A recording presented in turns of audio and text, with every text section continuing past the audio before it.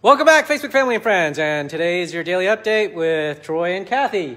And with us is our special guest, Jen. More on that in a second. Hey, just so you know, today is, if you forgot, Happy Administrative Professional Day. That's why Jen's here. Yay! Shout out to all my friends here at Mildenhall, to Bob, Steve, and Alicia. Take care. So awesome. And Kathi, what do you have?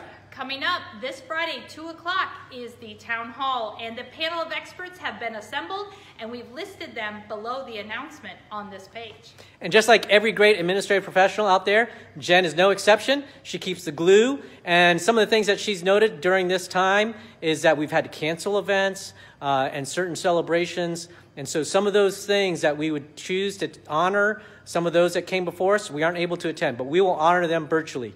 And just for that, saying thank you. And for now, we're going to check off. See, you tomorrow. See you tomorrow.